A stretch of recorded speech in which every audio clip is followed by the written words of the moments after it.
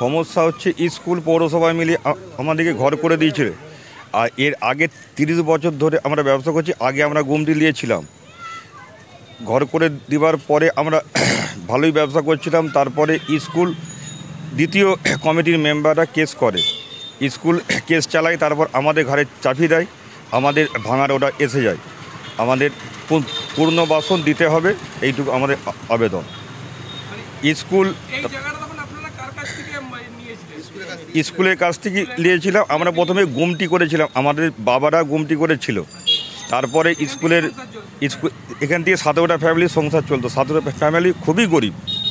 তাদের বিল্ডিংটা নেওয়ার সময় দেড় লাখ টাকা করে স্কুলকে দেওয়া হয়েছে। গয়নাগাটি জমি জায়গায় বন্ধক রেখে বিল্ডিংটা নিয়েছিল? প্রথমে আমরা যে দেড় লাখ টাকা করে দিয়েছিলাম তার জন্য দুশো টাকা করে ভাড়া ধার্য করা হয়েছিল এক বছর। তারপরে ভাড়া বাড়বে। স্কুলের ম্যানেজিং কমিটি দুটো। এক কমিটি আমাদের ফরে ছিল রায় ছিল এক কমিটি থাকেনি। তৃণমূলেরই বিক্ষুব্ধ যে কমিটি আছে তারা কেস করেছিল। তাদের ম্যানেজিং কমিটির গোষ্ঠী তো হ্যাঁ গোষ্ঠী দ্বন্দ্বের শিকার আমরা। আমরা গুমটি নিয়েছিলাম আমাদেরকে পাকা বাড়ি করিয়ে আজ আমাদেরকে পথে বস করে দেওয়া হলো কেন?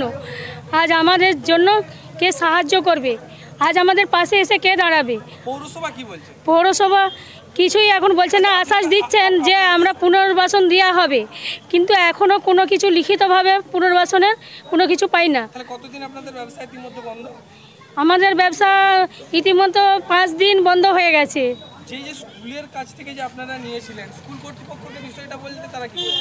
তারা বলছে? আমরা কিছু জানি না আমাদের কাছে কিছু নেই ডকুমেন্টস কিন্তু তারা যে আপনাদের কাছ থেকে টাকা নিচ্ছিল তাদের থেকে যে টাকা দিয়েছিলেন এখন কিছু পাত্তা দিচ্ছে না। না তারা কিছু পাত্তা দিচ্ছে না। প্রদীপ বোস কোনো পাত্তা দিচ্ছে না সেক্রেটারি কোনো পাত্তা দিচ্ছে না। এরপরে আগামী দিনগুলো এবার কি করে চলবে সেটাই আমরা পথে বসে আছি আজ। চলে গেলে বলতে পারবি?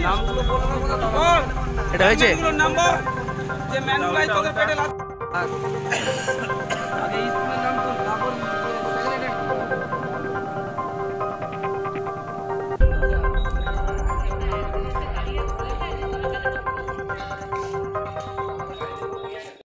ভাঙা হচ্ছে একটা দোকান অনেক বাড়ি ছিল কাদের নির্দেশে স্যার ভাঙা হচ্ছে? এটা আদালত নির্দেশ দিয়েছে সেই জন্য আদালতের নির্দেশ আমরা কার্যকরী করতে এসেছি। স্যার অনেক যে মানুষ তারা বলছে তাদের এই দোকান থেকে জীবন জীবিকা চলতো। মানে কি ব্যবস্থা নেবেন আপনারা ব্লক প্রশাসনের তরফ থেকে? এটা পৌরসভা এবং আমরা এটা আলোচনা চলছে যাদের এদেরকে পুনর্বাসন দেওয়া যায় খুব তাড়াতাড়ি। এটা আমরা সহানুভূতির সঙ্গে দেখছি।